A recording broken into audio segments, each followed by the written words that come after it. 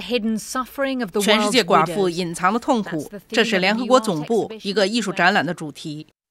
在一些承认妇女权益的地方，一些妇女成为寡妇之后，她们的财产、土地甚至儿女都被抢走。I was a widow and I knew that I was uh, sort of wallowing in sadness, but I didn't know that all that was happening in the world. And uh, 披头士乐队列侬的寡妇小野洋子和英国前首相布莱尔的妻子谢丽都说，这是应对这种不公平的时候了。 in certain countries, I mean, many countries actually, uh, when you become a widow, then uh, the the, uh, the husband's family take away all the things that you have created or you have really made it happen.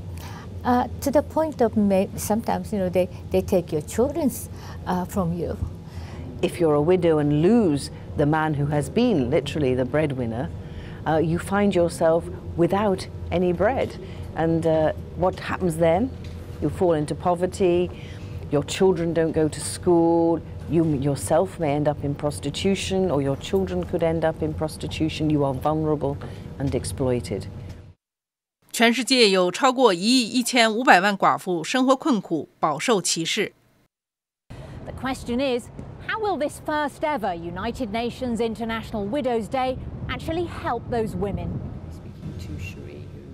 拉吉伦巴罗比眼见自己的寡妇母亲受苦，要求联合国确认联合国寡妇日。他要求立法禁止抢走寡妇的财产。What was your experience growing up as a widow's son in India? the stigma of widowhood, the um, culture, tradition in India didn't allow her to live like a woman as she was living before. And she suffered for 37 years after the death of my father. 寡妇经常被忽视，特别是在战争地区。